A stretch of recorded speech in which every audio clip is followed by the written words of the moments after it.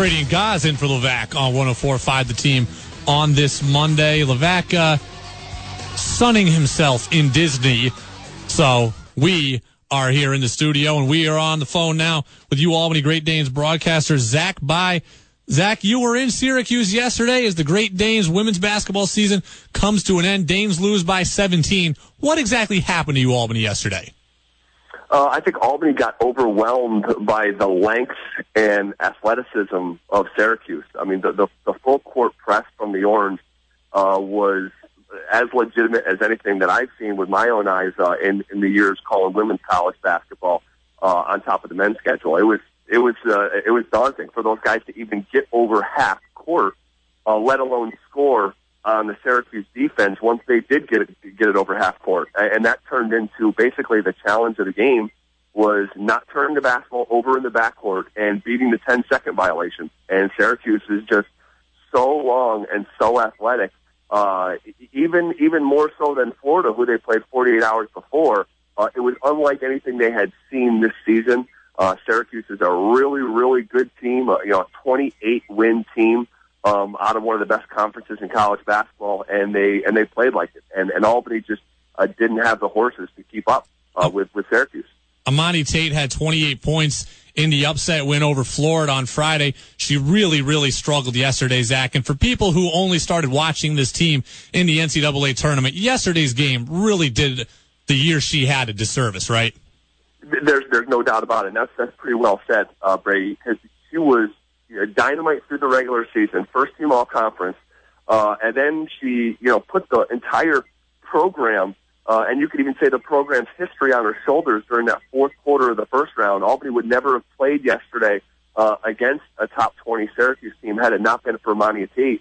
And uh, but that being said, you know, in that contest yesterday, she struggled mightily, and uh, just I think it was, it was two of ten from the field, uh, had double digit turnovers, uh, and that's really what what Albany was missing um, was her production offensively. And and I know you know in in sports you don't just plug in an equation like if X equals Y, but they lost by seven, 17 points, and uh, Imani Tate averages uh, about 18 points a game, a little over 18 points a game. That that was the gap and the difference. I mean, Albany uh, needed to play over their heads uh, to be in a you know couple possession game down the stretch with Syracuse. Uh, and the reason that they didn't is because uh, Imani Tate played well below uh, the expectations that she basically set forth for herself.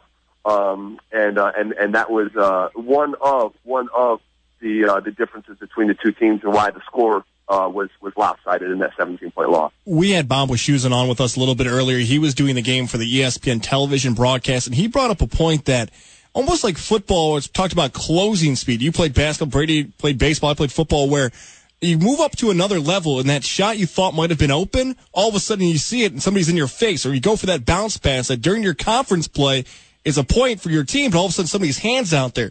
Was it something that small that might have affected Monty Tate and Shereesha Richards where those plays they made in conference play, all of a sudden with Syracuse, they're not there anymore because of the recovery speed? Oh, oh yeah. Oh, for, for for hundred percent certainty, that that was definitely uh, an issue for Albany, and they had uh, very little time or space to do much of anything uh, for both uh, for uh, Imani Tate and Shereesha Richards as well. I mean, Richards ends up with 24 points and 14 rebounds, which is uh, a, a great stat line for someone who's being double teamed and, and going against that length. But but to your point, every one of uh, those 24 points from Richards, or uh, in, in the very couple points that Imani Tate put up, they were so hard. Everything was difficult. There there was very rarely, uh, maybe one per half for Albany, where they got an easy basket. Everything is a grind, and you know that's just not the case uh, with the day in day out competition that Albany is used to playing. Um, you know, against you know Hartford or even a great team like Maine in their conference. You know, you can get away with at points during the game being more dominant physically and being better athletes, as Imani Tate and Shereesha Richards are, comparatively speaking, to their league and now you jump up, and it's almost like a shock value. You go from zero to 100. You know, Shereesha Richards and, and Tate are trying to finish over Brianna uh, and, and Bria Day, who are twin sisters, both go six foot four, absolutely won the women's basketball genetic lottery. and they're just, you're just swatting shots and flying all over the court and pressuring full court as well. You know, so it was it was it was a it was a chore uh, for Albany just to get a clean look. And once they got the clean look, you, you then have to make it. Uh, and and and the opportunities for those were just few and far between. 1045 the team, 1045theteam.com. Brady and Goz in for Levac today. Producer Mariano's here as well. We've got Zach Bye, Great Danes broadcaster, with us on the phone. So, Zach, we've been spoiled here as UAlbany supporters. Five straight trips to the tournament for the Dane ladies, three out of four now for the U Albany men. Both teams are going to lose a lot. Tell me there's still reason for optimism on both sides. Well, uh, we'll start with the women since they, they just finished their season yesterday. I mean, Albany, who has just won uh, five consecutive conference championships, the most on the men's or the women's side ever. I mean, it's a legit, it's the definition of a mid-major dynasty. Um, they're going to lose Shereesha Richards and Erin Coughlin. Shereesha Richards, I mean, uh, just scored 2,440 points over the last four seasons. And then her, and then her uh, classmate uh, Coughlin made uh, almost 153. She's top five in, in UAlbany history. So that being said, they're going to bring back the preseason player of the year uh, this coming season. It's going to be Imani Tate. It's like a shoe in. It's going to be unanimous vote. She's going to become the best player in the league. And at the same time, you're going to bring back Tiana Joe Carter and Cassandra Edwards, uh, two players uh, from the front court that play an awful lot. And then you have this young freshman named Heather Forster who had a terrific second quarter uh, yesterday against Syracuse and really was the reason that Albany was in a seven point game at the halftime with Syracuse because Heather Forster, the freshman, came in and left her, you know, DNA all over the second quarter. Mm-hmm. Um, and she's the younger sister of one of the all time leading rebounders, Julie Forster, who won the very first U Albany championship uh, five years ago. So that's her younger sister. So they, they have a lot coming back. They're going to be picked to win the league. And I'd be surprised if someone in the American East stops them from cutting down the nets for a sixth straight year. Mm. Uh, and then on the men's side, I think it starts uh, with with uh, the front court of Mike Rowley and Greg Stire, who are both multiple year starters uh, and very much improved this past season. And then really the, the cornerstone moving forward, Joe Cremo, uh, the, the the freshman out of Scotia Glenville, uh, who was uh, rookie of the year in the league and simultaneously sixth man of the league averaged double figures in just 21 minutes of basketball per night. As far as an efficiency rating, he was number two in the entire conference the time behind the uh, uh NBA prospect Jameel Warney.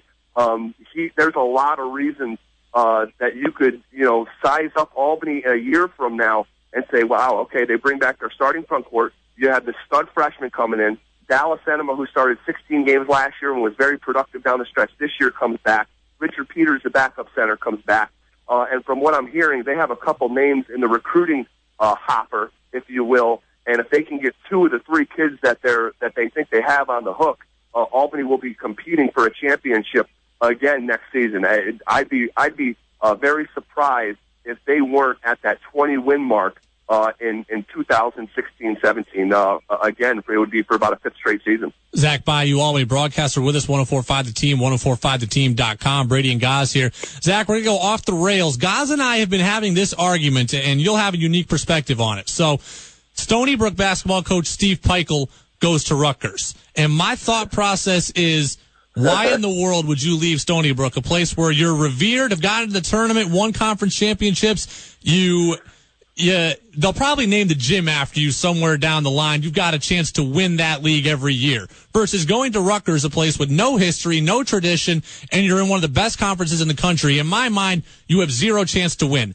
I think it's the wrong move. Goz says anytime you get a chance to get promoted, it's worth the shot. What say you, Zach Bye?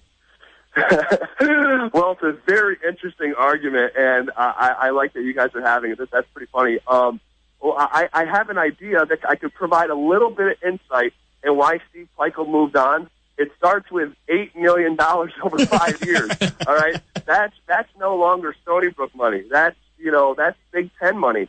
Uh, and and I'm I I see the advantages that you're talking about, Brady. You have an opportunity to win the league. Uh, you know, every other year they just built this 19 million dollar arena that they play in, which is gorgeous uh, you'll you'll be able to to, to recruit that area well uh, at the mid major level. Um, but at the same time, if you can line up benches across guys like Tom Izzo uh, and and Tom Crean, uh, guys like that, you know, you're putting yourself in a different class. And and and no one's saying that you have to go and win a game in the NCAA tournament. If you can show signs of progression with Rutgers and you can elevate them to maybe, you know, a 17 win season, uh, you're going to raise a bunch of eyebrows. And then the conversation says, wow, he brought Stony Brook to the, to the, to the tournament. Now he's kind of turning around Rutgers. Maybe this is a guy that is, you know, a, a legitimate guy for, for the next level job. So, you know, it, it's an interesting conversation. Uh, w- one that I think is, is more, uh, even more interesting is uh, how he ends up at Rutgers in the first place. I mean, this was a guy that I thought was going to be on the hot seat if he didn't get to the NCAA tournament this year, having player of the year for five consecutive years in the America East Conference, uh, and never, you know, getting to the tournament till now, uh, and, and underperforming. Um, and, and then, and then jumping from the America East to the Big Ten, that's almost unprecedented. Uh, and it's just, it's, it's very interesting how things shook, uh, shook out. Um, it's, it's, it's, it's, it's, it's uh, like I said, unprecedented. America East to Big Ten, you never hear that, ever. Zach, how's your bracket doing? Is it totally busted like mine? Yeah, there. It's it's been in the can for a couple days now. So ever I'm, since I'm, I'm, with the rest of America right now. I'm kind of rooting for uh, rooting for my wife's bracket. Unfortunately, there you go. 1045 the team. 1045theteam.com on the phone. Zach Bye, Great Danes broadcaster, was in Syracuse yesterday for the women's game. They lose to Syracuse. Zach, thanks for being with us. Hey, thanks for having me on, guys. Rocket.